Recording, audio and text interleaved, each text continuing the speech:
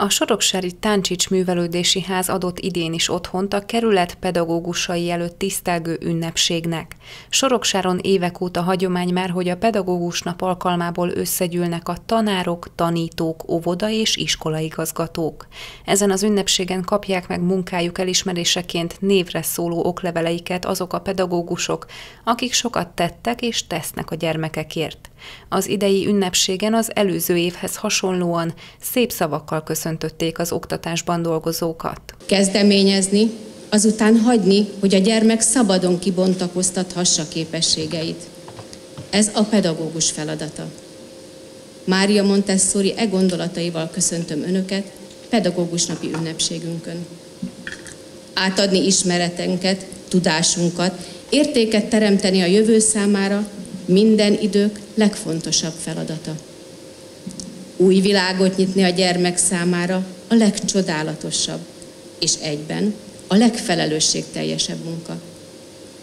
Jól tudjuk, állandóságot és egyszerre biztonságot adva egész személyiségével hitelesen irányt mutat tanítványai számára minden igaz pedagógus. Június első vasárnapja a pedagógus nap. Mint azt önök is tudják, Magyarországon e nap megünneplésére először 1952-ben került sor, és e napon adták és adják át a kiváló tanítói és tanári ökleveleket, később egyes kitüntetéseket az ország legjobb pedagógusainak. Az iskola arra való, hogy az ember megtanuljon tanulni, hogy felébredjen tudásvágya, megismerje, a jól végzett munka örömét, megízlelje az alkotás izgalmát, megtanulja szeretni, amit csinál. És megtalálja azt a munkát, amit szeretni fog. A tanítónak, mintának, példának kell lennie mindenben, a gyermek és a szülő számára egyaránt, hogy elfogadja, higgyen benne, kövesse őt a megkezdett úton. Valóban naponta fogyasztja magát, hiszen nem könnyű ma sem ebben a zaklatott világban tanítványait nevelni, hajlítgatni, nyesegetni róluk a vadhajtásokat, hogy felnőve értékes, boldog emberekké válhassanak.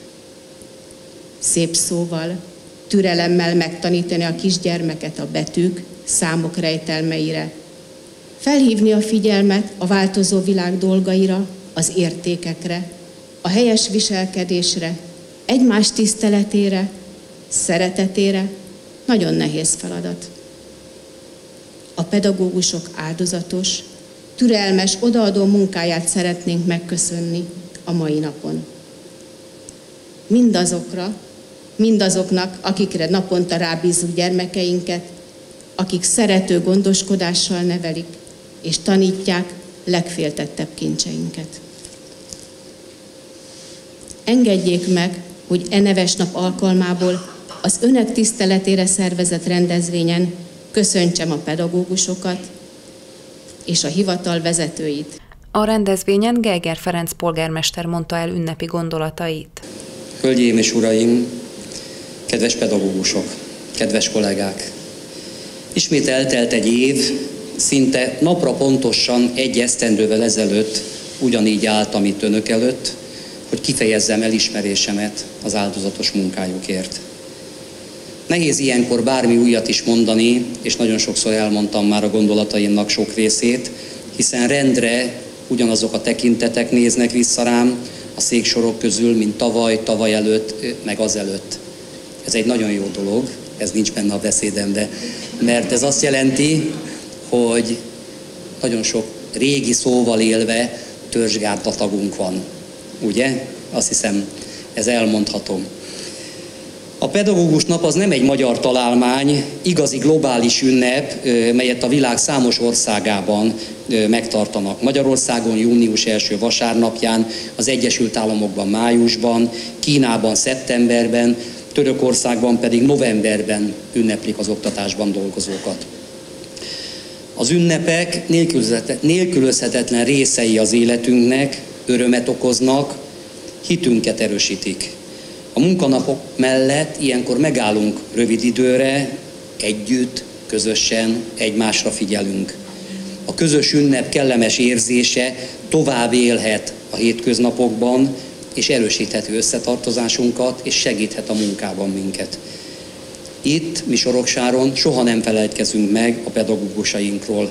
Önkormányzatunk nagy hangsúlyt fektet a pedagógus hivatás méltatására. Lehetőségeihez képest igyekszünk erkölcsileg is és anyagilag is megbecsülni önöket.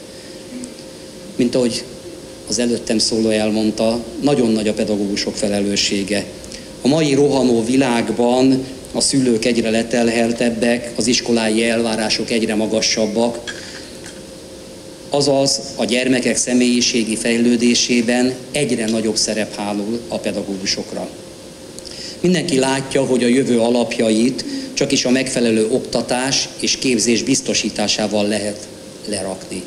De ahhoz, hogy ez hogy történjen meg, a hogyanról, a mikéntről, nagyon megoszlanak a vélemények. Vitatkoznak kötelező óraszámokról, külön órákról, tankötelezettség korhatáráról, iskolatípusokról, és lehetne még sorolni ö, ö, ö, sok mindent. Én nagyon reménykedem benne, hogy az élet, illetékesek, akik a döntéshozatal közelében vannak, végül is megkérdezik majd a hivatást nap mint gyakorlóknak a véleményét. Tapasztalatait figyelembe veszik akkor, amikor a döntéseket meghozzák majd. A mai kor talán legnagyobb kihívása az egymás megbecsülésének és az egymás segítésének elsajátítása. Az értékrendek nagyon deformálódtak, és azt hiszem, hogy mi ezt nem iskolába járó idősebbek nagyon jól tudjuk. Egyre többször tapasztaljuk azt, hogy a gyerekek az elanyagiasult világban keresik a boldogulásokat. Ezen a téren is nagyon nagy az önök felelőssége. Ki kell nyitniuk a világ kapuját, amelyen belépre, lépésről lépésre haladva tanulhatják meg majd a gyerekek, hogy milyen irányelveket követve léphetnek fel a helyes útra. Én nagyon fontosnak tartom azt, hogy önkormányzatunk évről évre elismerje és méltassa az önök tevékenységét. Az önökét, akik évek óta hűségesen kitartanak kerületünk és Soroksár gyermekei mellett. Én kívánok önöknek továbbra is nagyon-nagyon szép sikereket, és ugyanilyen odadást. Köszönöm szépen! A polgármester beszédét követően átadták az elismerő okleveleket, virágcsokrokat és pénzjutalmakat az arra érdemes több mint 70 pedagógusnak. Az ünnepséget egy meglepetés vendég Wolf Kati műsorával zárták.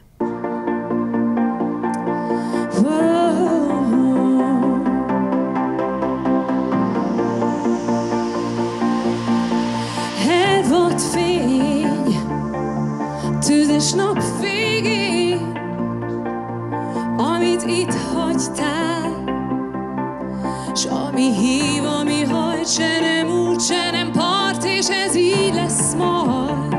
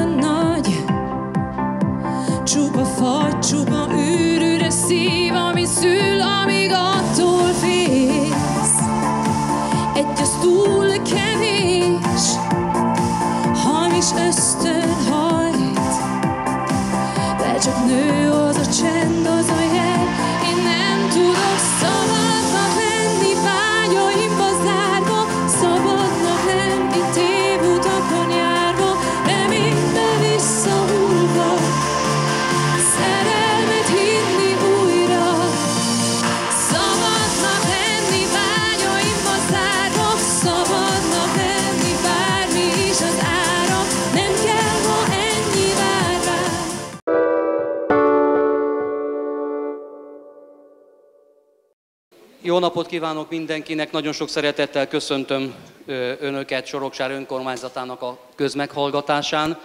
Móna Istvánné, ugye? Ráckeve utca, Milenon telepi megálló. 1964-ben kerültünk a telepre, a Ráckeve utcába, és akkor még ugye a Ráckevei hép nem állt meg a Mill telepen. Nagyon sok esetben innen a hősök terítő kellett gyalog menni haza, mert nagyon sok időbe került, mire megvártuk a következő járatot. Na most elterjedt az a hír, hogy megszüntetik a telepi hévmegállót.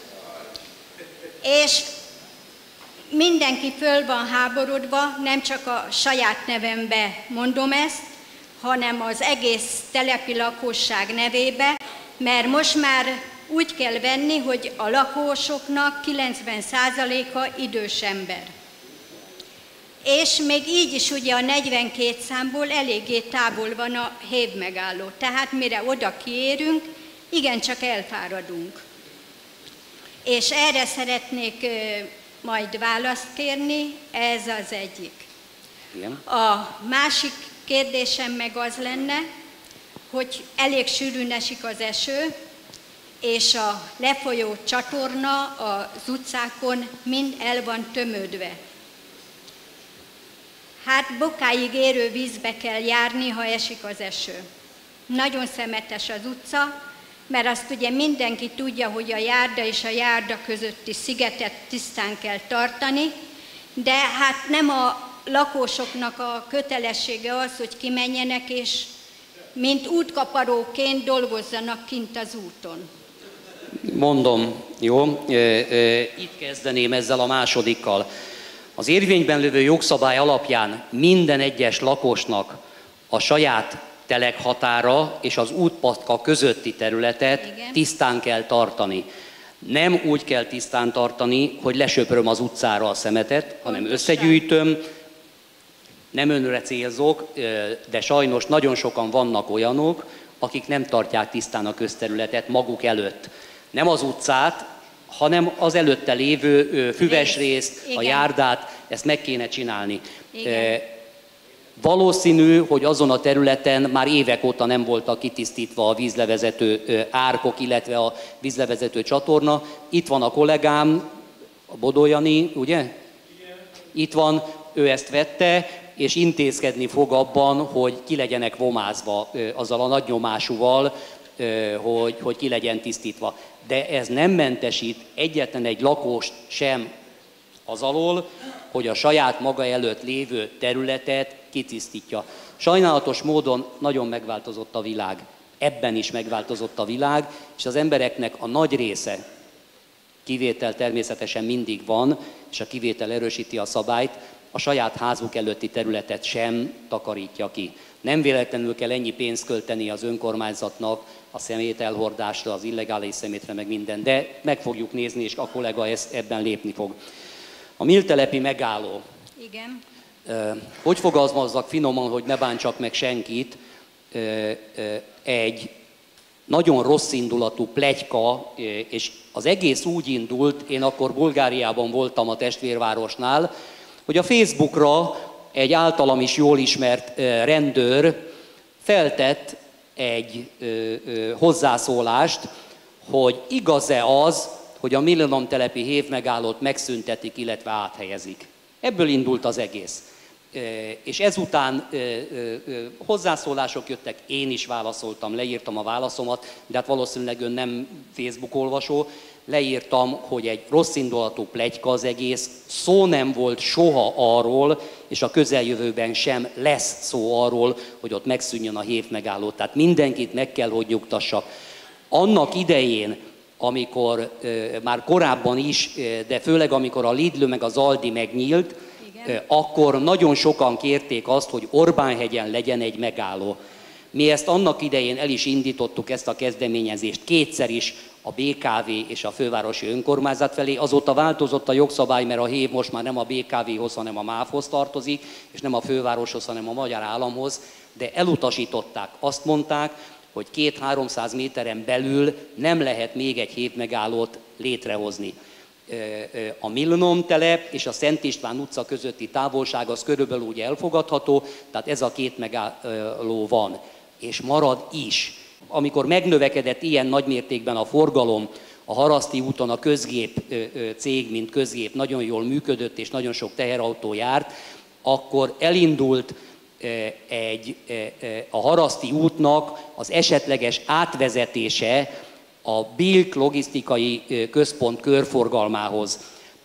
Ez az átvezető út a tervek szerint, egy koncepció szerint a lakópark és a Miltelep közötti üres területen menne. De az én véleményem az, semmiféle terv nem készült, semmiféle dokumentáció nem készült erről. Ez csak egy skic volt. Az én véleményem az, hogy ez soha nem fog megvalósulni. Gondolják el, hogy ott a haraszti utat egy felüljáróra kéne felterelni. Nincs hely. Ki fogja ezt kifizetni? Több milliárd forintba kerülne, 10 milliárdos nagyságrendbe kerülne, hogy az onnan. Gondolják el, hogy a haraszti utat kétszer négy sávosra, vagy kétszer két sávosra kéne bővíteni. Az egyik oldalon ott vannak a házak, és a vállalkozások, Dunaharasztin is, meg Soroksáron is, másik oldalon meg ott van rögtön a hév. Terület sincs hozzá. Tehát szó nincs arról, és ez nem is befolyásolta volna a hév megállót, mert semmiféleképpen nem befolyásolta volna a hév megállót. Fejlesztések lesznek, mint ahogy önök látták, meg szerintem sokan látták is, hogy esetleg azok a, a gyors vasúti szerelvények fognak beállni a hévek helyett, amelyek most is közle, amelyeket most is közlekedtet a MÁV. Itt is volt próbajárat, nem tudom, hogy látták-e vagy nem. Igen. Lehet, hogy ezek fognak beállni majd, de erről sem tudunk még semmi konkrétumot. De ez nem jelenti azt, hogy a hév megállóval bármi is történik. Tehát nyugodjanak meg, semmiféle változás nem lesz a hév megállóban. Tehát maradott ugyanúgy, ahogy volt. Dabóciné, Goda, Emese, Milanom telep közlekedése. Most sokan jönnek a Milanom telepről, mert pontosan ez a Facebookos bejegyzés, ez elindított egy, egy, egy lavinát, illetve, mint ahogy ön is el fogja mondani, a közlekedéssel azért vannak gondok. Igen, igen, úgyhogy az előzőhöz hozzátenném azt, hogy ez az út, amiről beszélt, ez szerintem létfontosságú lenne. Valamilyen módon meg kéne oldani, mert rengetegen költöztek ki, nem csak Dunaharasztira, hanem Szigethalom, tehát az a rész ott, Taksony, igen, minden fejlődik. Dunaharasztin több lakópark épül, nem tudom, hogy például a parkolást is megoldhatnák, például Soroksáron is, bent a városban, tehát a Hősök terén is, mert például nagyon sok üzletnek föllendülne a forgalma azáltal, hogy megközelíthető az üzlet. Nem lehet megállni. Világos. Tehát én a Milletelepen lakok, Dobóciné vagyok elnézést, és nem szoktam már Soroksára semmiért bejárni, mert nem tudok megállni, nem tudok parkolni, Dunaharasztin intézek mindent. Egyébként Dunaharasztin két parkoló épült, egy megépült, és egyet most is építenek az egyik iskola mellett közvetlenül. Én szerintem ezt a példát követhetné a 23. kerület is, mert szerintem egy nagyon jó kezdeményezés lenne, hogy lerakják az autót és minél kevesebb forgalom legyen. Nálunk is vannak a Mill telepen olyan területek, amik ugyan magánkézben vannak, de például egy kaszálatlan legelő, ott van nem tudom hány hektár, semmire nem használják, néha beforgatják a földetekével, és erről szól az egész történet. Nem tudom, hogy a tulajdonossal lehet-e alkudozni, vagy az önkormányzatnak van-e bármiféle tulajdona, amit át tudna alakítani ö, ö, parkolóvá. Mondom Mert, akkor, bocsánat, ö, ö, tehát abban teljesen tökéletesen igaza van, hogy ö, ö, nagyon megnövekedett a, a forgalom a, a külső kerületekben, nem csak nálunk, máshol is. Nagyon sokan költöztek ki Budapest határán kívülre, Pest megyébe, Soroksár 19 ezeres lakosszámú volt, most 23 ezeren vagyunk. Dunaharaszti, akkor, amikor Soroksár önálló lett, még község volt, és pár ezer lakosú, most 21 ezer vagy 22 ezer város. Sziget Miklós közel 60 ezresé vált, taksony, némedi, de ez egy trendet, tehát ez így van. Ezek ez az egy... emberek közlekednek, élnek, iskolába hordják a gyerekeiket, és rettenetes. Egyébként én mondjuk a közlekedés miatt jöttem, a parkolás már csak azért jutott eszembe, mert szóba került, hogy... Mondom azt is, mert vannak terveink erre. Igen, igen, igen, hallottam róla, nem tudom mennyire igaz az egyirányosítás. Szerintem elképzelhetetlen, megvalósíthatatlan. Először is azért, amiről az előbb beszélt, ott ipari tevékenység is folyik, nem csak laknak, nem csak élnek, hanem ott dolgoznak is emberek megvalósíthatatlan, hogy teherautó ne tudjon elmenni, már pedig azokon az utcákon, ahová elvileg beszeretnék terelni a forgalmat, hát Lórév utca, Dél utca, hát az, az egy teherautó számára járhatatlan. Tehát Na most ez az, amit, amit ön mond, ez megint egy plegyka. Nem tudom, hogy honnan veszik ezt, de semmiféle ilyen nem történt. A közlekedést mindenféleképpen valamilyen módon rendeznünk kell, mert reggelente katasztrofális állapotok vannak a Miltelepen és a Miltelep szervizútján. Hazafelé is és a... ilyen 4 óra és 5 óra között. Befejezem, jó? Bocsánat. Tehát katasztrofális állapotok vannak. Nagyon sokan járnak be. Az autóforgalom megnövekedett.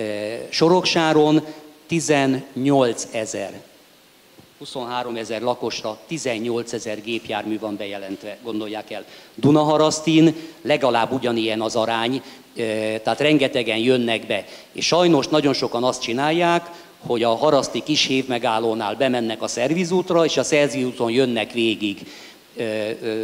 És, és ott gyakorlatilag a méltelepi lakosok nagyon sok esetben életveszélyes helyzetekbe kerülnek. Ennek megoldására próbálunk mi valamilyen variációt kitalálni. Az első, az most arról szólt, és erre megvannak már az engedélyek, csak a fővárosi tulajdonosi hozzájárulás kell. Fekvőrendelőket már kitettünk a szervizútra, most a, a mostani engedélyezés az arról szól, hogy nagy virágládákban fákat fogunk kihelyezni, és csak szalomba lehet közlekedni a szervizúton, amivel lelassítjuk a forgalmat járdát fogunk létesíteni, mert ez is probléma, hogy a, a szervizúton, a hévmegállónál e, nincs járda és nincs zsalogátkelőhely, ezt is meg fogjuk tenni, ez is ebben a, a terven, koncepcióban szerepel. Egy másik tervet is elkészítettünk és engedélyeztetni fogjuk, az úgynevezett egyirányosításokat. Nem abban gondolkodunk, hogy, hogy, és a fekvőrendőrök létesítését, de ezt előtte minden esetben meg fogjuk a lakossággal tárgyaltatni. Tehát az utcákba is kértek, például a Dél utcába is, a Ráckeve utcába is kértek fekvőrendőrt, mert ott is sajnálatos módon még az ottani lakosok közül is vannak olyanok, akik nagy sebességgel mennek, és kértek fekvőrendőröket. Nem a fekvőrendőr a megoldás, hanem szerintem a megoldás az az, hogy ö, ö, a kulturált közlekedési szokásokat kéne betartani, és akkor nem lenne ilyen probléma. De mindenféleképpen ebben gondolkodunk. A legvégső eset az meg az lehetne, hogy a Dél utcától lefelé egyirányosítjuk a szervizutat, és nem jöhetnek be Haraszti felől.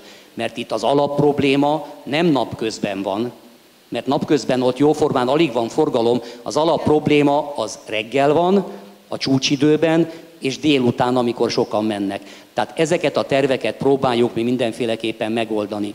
Az a baj, az a baj ezekkel a virágtartókkal, hogy még egyszer hangsúlyozom, ipari tevékenység folyik ott a Dél utca kettőben több cég is dolgozik bent, kamionok járnak. Nem fognak tudni behajtani az autók, nem fognak tudni dolgozni a cégek. Nekem ezzel is problémám van, mert éppen eléggé, elhiheti nekem, hogy éppen eléggé lelassítja a forgalmat az a 5-10 autó, amelyik annál a 100 mm, forintos boltnál parkol, tehát attól rémes a közlekedés, mert lehet, hogy az is segítene az állapotokon, hogyha azok az autók nem állnának ott meg de fogjuk utána, nézni, mert ez És az éppen nem tudom. eléggé lassítja a forgalmat, uh-huh, tehát ez, uh-huh. ebbe hiba nincsen, ez Világos. minden nap meg van oldva, tehát ezzel nincsen gond. Inkább azzal van a probléma, hogy tényleg nagy a forgalom reggelente, és hát nagyon nagy sebességgel közlekednek. A fekvőrendőr, hát én a Dél utca 9-ben lakom, tehát majdnem előttünk van a fekvőrendőr, nem sokat segít egyébként,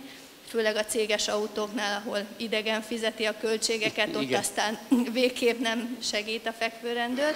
Úgyhogy nem tudom, mi a megoldás. Én az útépítésben látom a megoldást, mind a parkolásra, mind pedig a forgalomra, mert szerintem az az út, amit ott a, a Bilkhez bevezetne, az egy nagyon jó dolog lenne. Nem tudom, mi a megoldás hozzá, az önkormányzat, a két önkormányzat próbáljon összeülni és megtalálni a helyet, mert a hely az végül is meg lenne ott, csak meg kéne egyezni. A, ehhez Harasztinak nem sok köze van, mert ezt eh, sem a kerület, sem pedig Dunaharaszti nem tudja megcsinálni.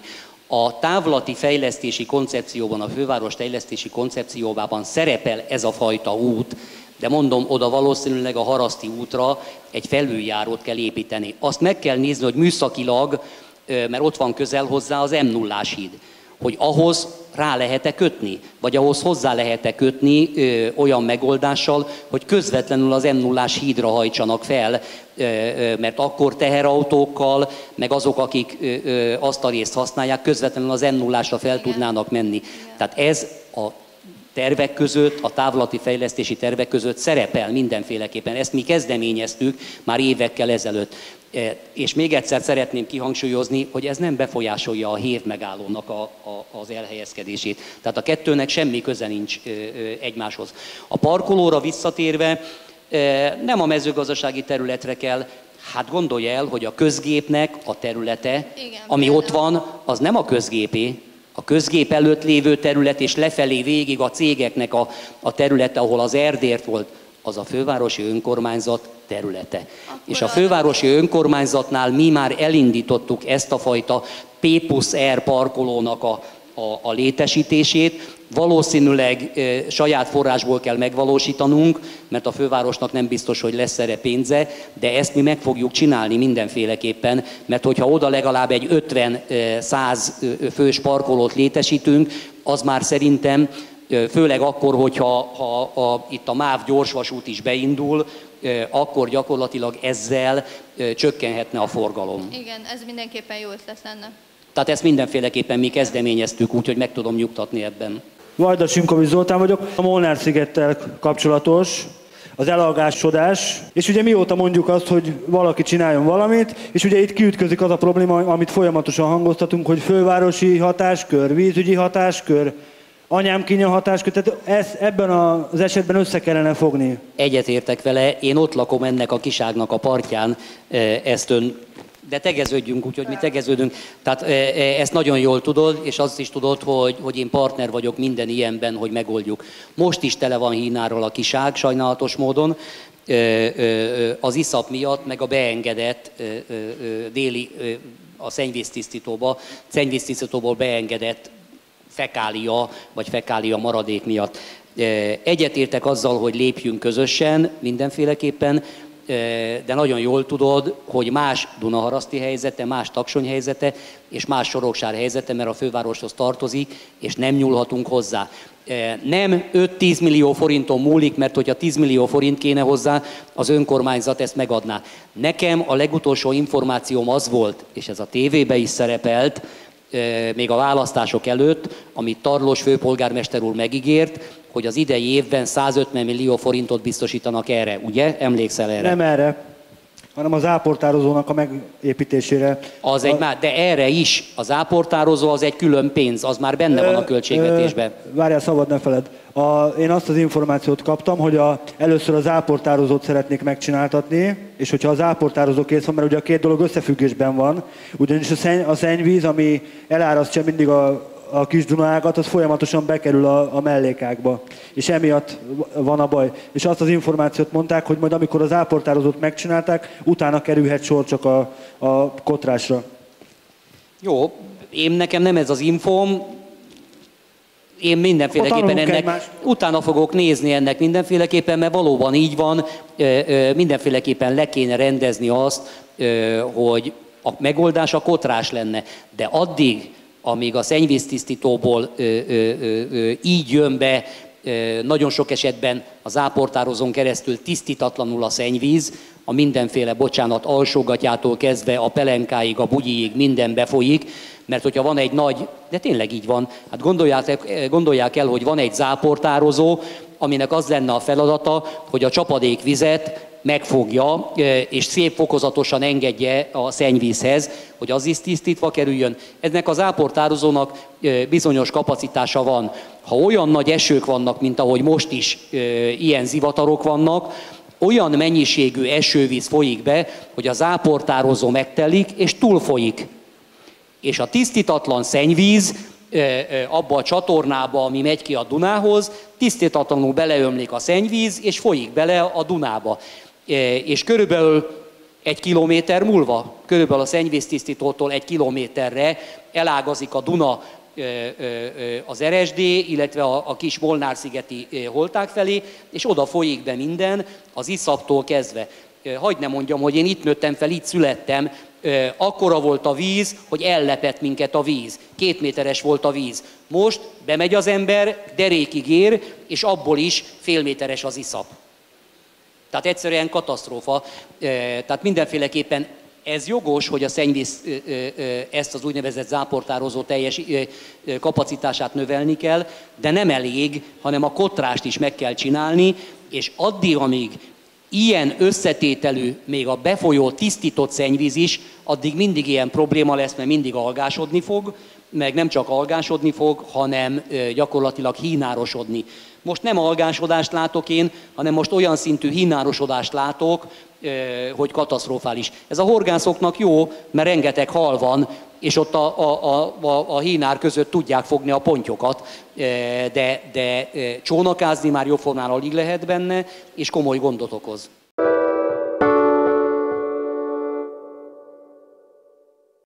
A Soroksári Grassalkovics Antal általános iskola már egy évtizede minden adandó alkalommal részt vesz a határtalanul pályázaton. A hetedik osztályosoknak szóló határainkon átívelő kirándulások közkedveltek ebben az intézményben, ugyanis sokan vannak, akik egyébként soha nem jutnának el a kiszemelt helyekre. Legutóbb 46 diák látogatott el felvidéki bányavárosokba. Én már 10 éve veszünk részt ezen a határtalanul programon. Nagyon fontosnak tartjuk a hagyományőrzést az iskolában, mind magyar és mind az iskolánk másik profil német nemzetiségi hagyományok ápolásában, és úgy gondoljuk, hogy azáltal, hogy részt veszünk ezen a programon, így a gyerekeink megismerhetik a határainkon kívül élő magyar szokásokat is. Ez alatt a tíz év alatt nagyon sok osztály ellátogatott már Erdélybe például különböző tematika alapján. Legutóbb kiket vittek el, mi volt a program? Legutóbb felvidéken jártunk, az előző héten érkeztünk haza. Hány napos volt ez a kirándulás, hány gyermekkel érkeztek oda? Ez a kirándulás négy napos volt, június 5-től 8-áig vettünk részt egy elég eseménydús programsorozaton. 46 diákot vittünk el, és négyen kísértük el őket. Mennyire érezték jól magukat a gyerekek, és amellett, hogy jól érezték magukat, mennyire tudtak tanulni az ott látottakból, hallottakból?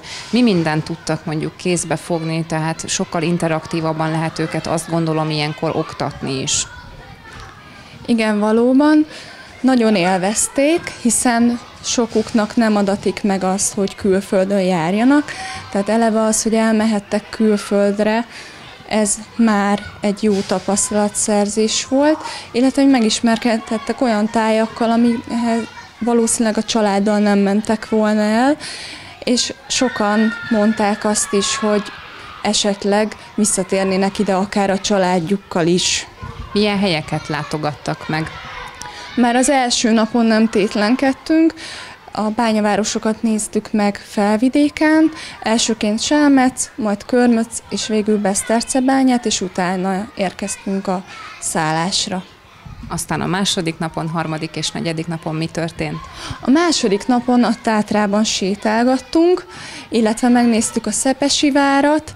A harmadik napon meglátogattunk Füleken egy iskolát, egy alapiskolát. A gyerekeknek nagyon érdekes volt, hogy Szlovákiában az iskola 9 év folyamos, illetve tehát maga az általános iskolai rész, illetve nagyon élvezték azt, amellett, hogy megismerkedhettek egy PPT-s bemutató által az iskolával, hogy hétköznap úgy vannak iskolában, hogy nem kell tanulniuk, ott egy német nemzetiségi bemutatót is tartottunk, mert amellett, hogy a magyar hagyományokat is fontosnak tartjuk, ezért a német nemzetiségi hagyományokat is ápoljuk, és egy német nemzetiségi tánccal készültünk a bemutatkozó mellett, és utána pedig Kassán jártunk, ahol Rákóczi sírjánál elénekelhettük a magyar himnuszt, ezt nagyon élvezték a gyerekek, hogy mert ez egy nagyon nagy szó, hogy ott énekelhettünk, illetve Rodostónak a kicsinyített mását is megnézhetjük, illetve hát a dómot is megnéztük. Milyen egy ilyen kirándulásnak az első és az utolsó napja összehasonlítva? Az első napon mindenki nagyon lelkesen indult, és az utolsó napon pedig ugyanolyan lelkesek maradtunk, viszont egy picit fáradtabban, de többel, sok élménnyel érkeztünk haza. Jól tudjuk, hogy egy ilyen kirándulás során földrajzból, történelemből nagyon sok mindent tanulhatunk. Magyar szakos tanárként hogy látja magyarból, mit tanulhatunk egy ilyen út során? Manapság már azért a, a nyelvünket inkább irodalmi szinten használjuk, tehát a nyelvjárásokat nem mindenki tehát a nyelvjárásokkal nem mindig találkozunk, viszont ugye a, a szlovák egy kicsit ás beszéd, az meglepte a gyerekeket, és tehát ezzel is találkozhattak, hogy igen, vannak olyan emberek, akik inkább nyelvjárásban beszélik a nyelvünket, illetve másfajta szókészletet használnak, de ezt így megismerhették ezáltal. Mekkora pénzösszeggel támogatta a pályázat kiírója a gyerekeket fejenként, és nekik mennyivel kellett hozzájárulniuk ehhez a kiránduláshoz? A gyerekeknek ez pénzben nem került, a pályázat 60 ezer forinttal támogatta őket. Tervezik a jövőben is azt, hogy akár saját kontóra is elviszik a gyerekeket ilyen hasonló történelmileg, földrajzilag, vagy akár magyarból felkészítő kirándulásokra, akár kis hazánkban, akár hazánkon túl, vagy tovább megyek a határtalanul program keretein belül. Igen, továbbra is pályáztunk a határtalanul programra.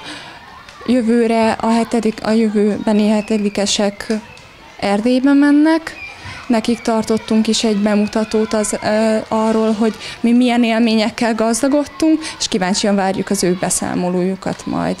Életre szóló élmény ez a gyerekeknek? Én úgy gondolom, hogy igen, azért, mert uh, nem feltétlenül tudnának eljutni ezekre a helyekre, illetve olyan idegenvezetésünk volt, hogy olyan információkat tudhattak meg, amik a tankönyvben nem szerepelnek. Ha már a gyerekekre kitértünk, akkor térjünk ki egy kicsit a pedagógusokra és a kísérőkre. Számukra ez mekkora élmény, mekkora élmény az, hogy a gyerekekkel iskolán kívül is együtt tölthetnek időt, és mekkora élmény az, hogy akár ők is eljuthatnak máshova Magyarországon kívül. Ez egy édes teher számunkra, mert amellett, hogy nagy felelősség van a vállunkon, emellett olyan kontextusban láthatjuk a gyerekeket, amire nincsen lehetőségünk órai keretek között, hiszen akkor 45 percünk van, és tulajdonképpen csak a tananyagra tudunk fókuszálni, de így sokkal jobban meg tudjuk ismerni őket, az igényeiket, és a későbbi óránkból be tudjuk ezeket építeni. Miért tartja jónak a határtalanul programot, mennyire érte el a célját ez évben is? Úgy gondolom, hogy ez a program azért jó, mert hogy nem csak a magyarság tudatot erősíti bennünk egy interaktív és nem egy tankönyvi keretek között, hanem hanem valahogy az összetartozást is, az egymással való viszonyt is, tehát a kapcsolatépítésben segít nekünk, ami mostanában nagyon fontos. A Soroksári iskola a legutóbbi határtalanul pályázaton az emberi erőforrás támogatás kezelő jóvoltából összesen 2 millió 760 ezer forintot nyert a szlovákiai utazásra, szállásra, étkezésre és a programokra.